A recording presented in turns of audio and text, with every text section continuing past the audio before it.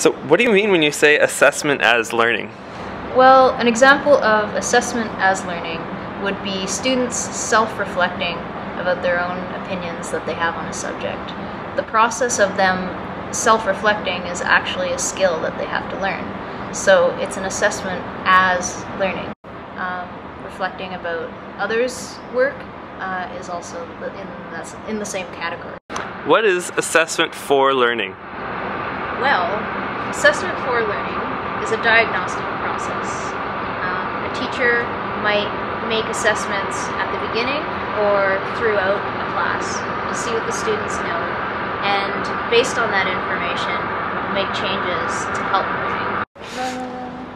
Tell me about yourself. Uh, I could tell you about assessment of learning. Assessment of learning is the measure, the recording, and the reporting of students' achievements. Um, an example of this might be a unit test, a final test of some sort, and reporting on uh, the grades on a report card. Validity is a term to describe the inferences we make uh, about test results.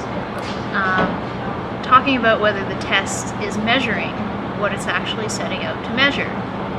So for example, if a teacher is testing students' math knowledge, but the test has too many irrelevant terms or difficult terms for those students, then they might in fact be testing for language instead of math skills.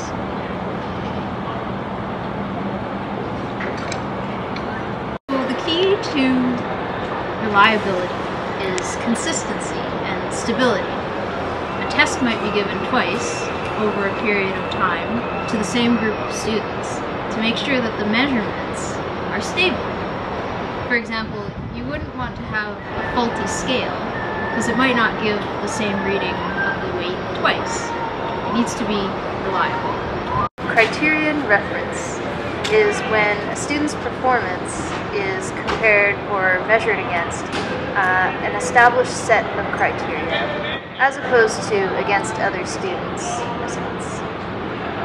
Um, it's usually measured in percentages or often as groups.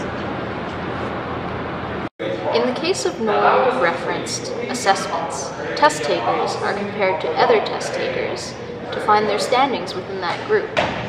These kind of tests are often uh, assessed in terms of percentiles or equivalence, and an example of that would be standardized testing. Student reference, student, student reference, student reference, student reference, student reference, student reference, student reference, student reference. Justine, what is student reference? Well, student reference would be the instance of a goal of a student setting his or her own goals and then trying to meet his or her own goals.